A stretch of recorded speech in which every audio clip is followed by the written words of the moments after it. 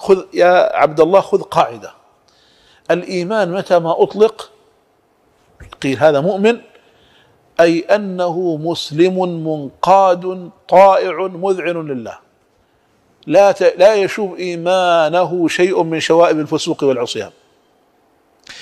لكن إذا قرن الإيمان بالعمل الصالح كان الإيمان معناه التصديق القلبي والعمل معناه الإتيان والترك الشرعي.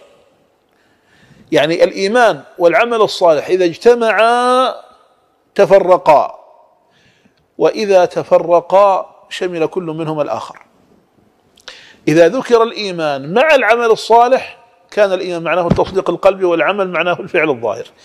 إذا تفرقا إذا تفرقا كان الإيمان معنى الإيمان مع العمل والعمل معناه الظاهر والباطن. عمل الباطن وعمل الظاهر. يجب أن يكون هذا معلوما لديك.